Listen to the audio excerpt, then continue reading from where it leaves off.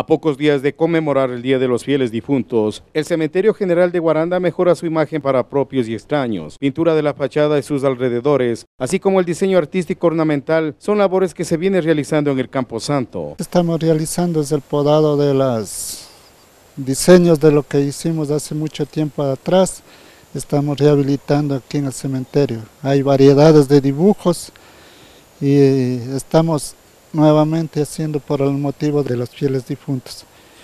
Y para que quede mejor y bueno, estamos así realizando entre cuatro personas. Lo que más atrae la atención cuando se visita este lugar de descanso eterno son las vistosas figuras que se han diseñado en los árboles de ciprés. Aquí hemos formado es unas llamas, unos gusanitos, pollos, osos, gemelos, conejos, guatusas, casi de todas las variedades de animales. El área de parques y jardines viene trabajando por el lapso de 15 días en agotadoras jornadas para dejar el cementerio en óptimas condiciones que serán admirados por los miles de visitantes en este próximo feriado de noviembre. Todos los días, hace unos 15 días atrás o casi un mes estamos aquí porque es dificultoso y para que quede mejor haciéndole con todo el cariño que nos merece y se merece la ciudadanía hay que tener paciencia para todo y que ojalá nos feliciten porque yo de mi parte estoy dando todo lo que tengo en mí y todo de mí para que sea un buen trabajo. Con cámaras de Win Mercury, reportó Víctor Hugo Poma para Guaranda TV.